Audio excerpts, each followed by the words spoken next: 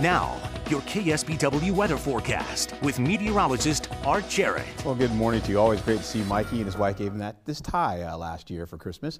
Hey, take a look at this. Partly cloudy skies by mid-morning for you for San Benito County. You're looking at 52 to 57 degrees. By early afternoon, sunny and brisk conditions, 59 to 61 degrees. And then late afternoon going into the evening hours, it'll be breezy up in the mountains. So the Diablo Range as well as the Gabilan Range will pick up a little bit of breeze. 56 to 59 degrees with uh, partly cloudy skies, or we should say clear to partly cloudy skies. Guys, tonight, we'll have mostly clear skies for everyone else, 35 to 43 degrees. Mostly clear conditions with light winds. Patchy fog will start to show up on us. So everyone uh, you see here on the forecast here for much of the central coast, you'll see 57 to 61 degrees. We'll see sunny and breezy conditions going into uh, midweek, and then you'll see chilly conditions as well. Snow levels continue to drop. We'll stay dry for most of the week, as you can see, with temperatures from 52 to 58 degrees. Warm it up on the weekends, adding a few clouds for you.